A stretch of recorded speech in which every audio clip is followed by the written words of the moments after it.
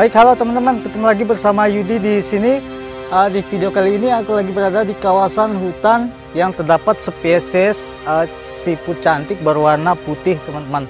Nah, uh, kebetulan ini juga habis musim habis turun hujan, nih baju saya basah dan saya tadi jatuh ke lumpur, teman-teman. Nanti kita bersihkan aja. Baik, uh, kita akan coba ngehunting spesies putih ini, eh, spesies putih ini, spesies siput putih ini, teman-teman di mana uh, siput ini sering dikatakan uh, bekicot albino oleh orang-orang teman-teman. Baik, langsung saja kita coba hunting teman-teman.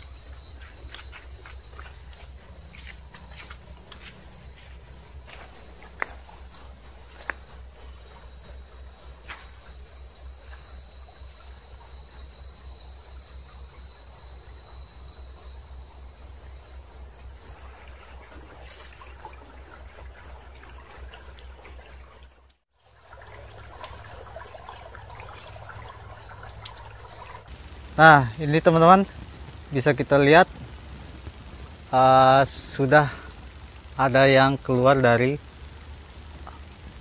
persembunyiannya teman-teman. Nah, karena ini habis uh, turun hujan teman-teman ya. Nah, ini ada dua ekor. Ada dua ekor. Kita dapatkan dua ekor uh, siput putihnya teman-teman sebetulnya lebih banyak lagi uh, bisa kita temukan pada saat malam hari teman-teman. Tapi karena saya uh, eksplorasinya sendirian jadi kita cukup sore aja teman-teman. Kita dapatkan dua ekor. Ini tadi uh, biasanya memang pada saat selesai musim hujan turun seperti ini keong-keong uh, ataupun siput pohon itu berkeliaran di mana-mana teman-teman baik kita cari lagi.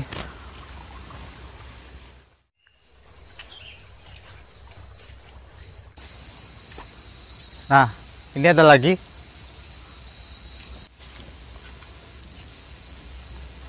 Nah ini ada lagi teman-teman. Tapi kita harus hati-hati juga ya. Karena uh, biasanya habis musim hujan seperti ini habis turun hujan ya maksudnya uh, banyak ular-ular hijau ekor merah teman-teman mereka juga berkeliaran di mana-mana. Jadi kita juga harus hati-hati juga. Nah ini dia.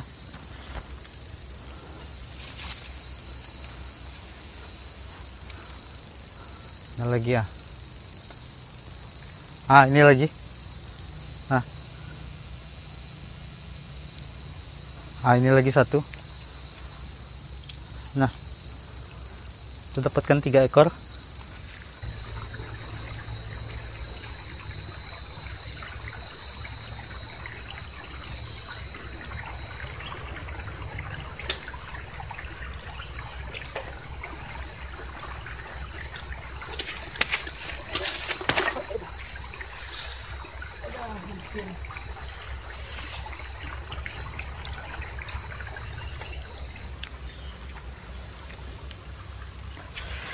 ada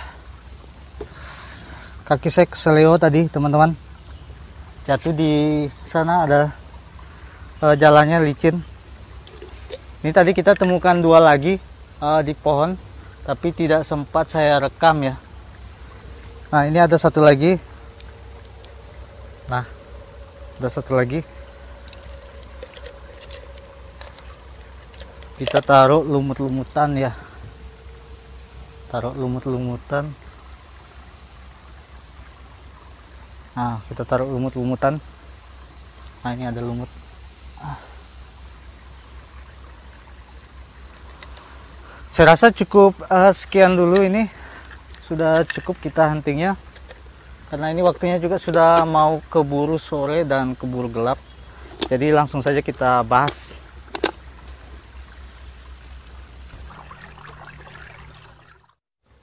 Uh, baik teman-teman, kita sudah selesai ngehunting uh, siput putihnya. Nah ini kita ada temukan ada berapa ekor ini? Tiga. Uh, sebentar saya hitung dulu. Ini tempatnya uh, agak kecil ya. Empat, uh, lima, lima, enam, tujuh,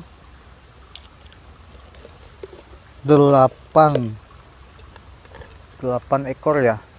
Jadi sepertinya 9 ya? Oh iya. Cuma 8 ekor kita temukan. Baik teman-teman. Nah ini uh, spesies siput putih yang kita temukan tadi. Nah.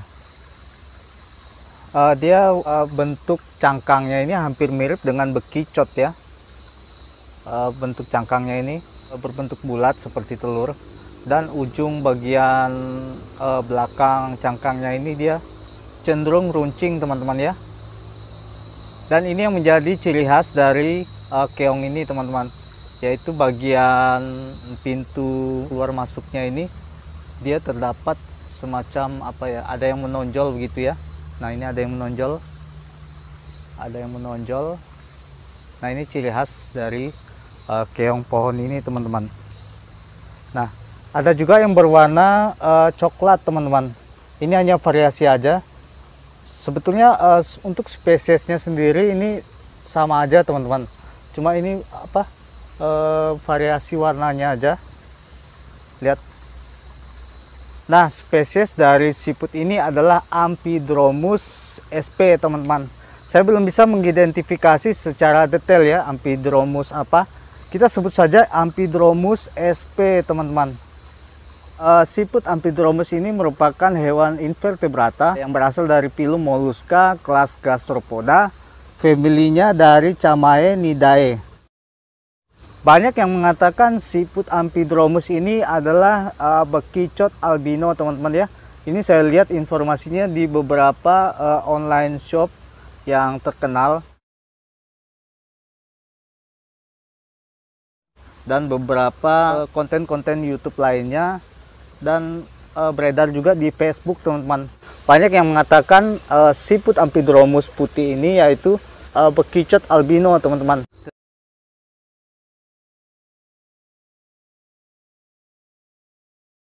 Tetapi di sini saya ingin mengatakan siput-siput putih yang beredar di uh, beberapa forum yang saya sebutkan tadi itu bukan bekicot albino teman-teman, melainkan uh, siput putih Ampidromus. Nah, untuk bekicot albino sendiri, uh, itu warna cangkangnya itu sama aja dengan warna cangkang dari bekicot-bekicot pada umumnya, teman-teman.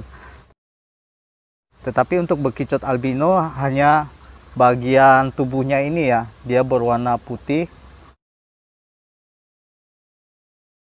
Nah, sedangkan uh, siput putih Ampidromus ini, uh, dia ininya aja yang putih, cangkangnya aja yang berwarna putih dan bagian bagian tubuhnya ini dia berwarna kekuning kuningan dan uh, warna putih. Dan ini matanya berwarna gelap ya. Nah lihat. Jadi uh, di sini saya ingin mengatakan bahwa uh, siput putih yang beredar di online online shop itu sama sekali bukan bekicot albino teman-teman. Uh, bekicot albino itu dia berasal dari genus Acatina dan dia lebih cenderung terestrial teman-teman Sedangkan siput Ampidromus ini dia lebih cenderung arboreal teman-teman. Dan ukuran siput pohon Ampidromus tidak sebesar albino pada spesies bekicot. Wow, cantik ya. Uh, di Indonesia sendiri banyak sekali spesies-spesies dari Ampidromus atau keong pohon ini teman-teman. Uh, di antaranya seperti Ampidromus palaceus, Ampidromus uh, fuscolabris, Ampidromus perversus dan Ampidromus Ampidromus yang memiliki warna yang cerah-cerah dan cantik-cantik lainnya teman-teman.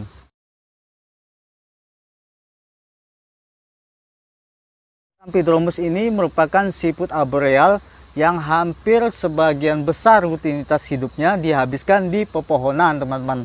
Baik itu untuk e, melakukan perkawinan e, mencari makan dan bertelur teman-teman siput ampidromus ini dia berkelamin ganda atau hemardrofit teman-teman e, dia tetap memerlukan pasangan untuk membuahi atau berkembang biak teman-teman Hermafrodit merupakan satu individu memiliki kelamin ganda Hermafrodit terjadi pada hewan maupun tumbuhan.